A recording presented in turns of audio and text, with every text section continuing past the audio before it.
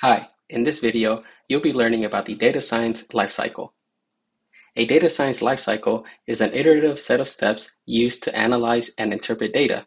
The specific steps or the amount of steps that are part of a data science lifecycle can vary from team to team or project to project.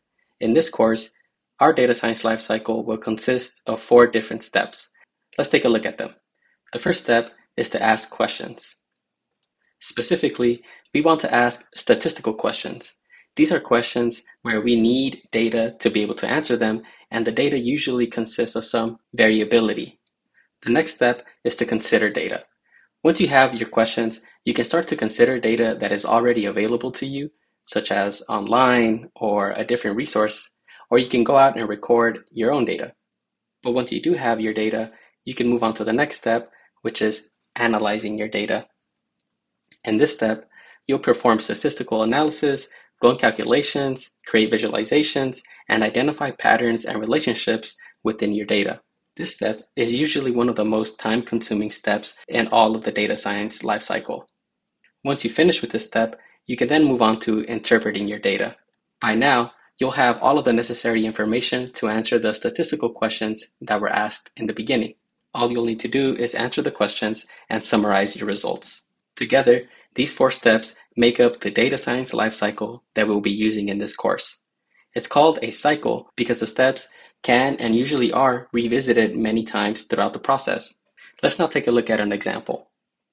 Let's start with asking a question. We need to be careful here though, because not all questions are statistical questions. For example, the question, how tall are you, is not a statistical question because you can get an answer from just one person and the data will not vary. We need questions where we have to collect some data and we can expect the data to have variability. So a good example would be, what is the most common color of the cars in the school parking lot?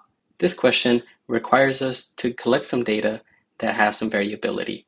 So let's say that we go out into the parking lot and we write down in a table all of the cars and what their colors are. That process is part of the considering data step. All we were doing was just collecting the information that we need in order to answer our question. Now that we have our data, we can move on to analyzing the data. The data in this example is actually pretty small, so we can actually just analyze it by looking at it and counting the values. So we can see that black is the most common car color in the school parking lot.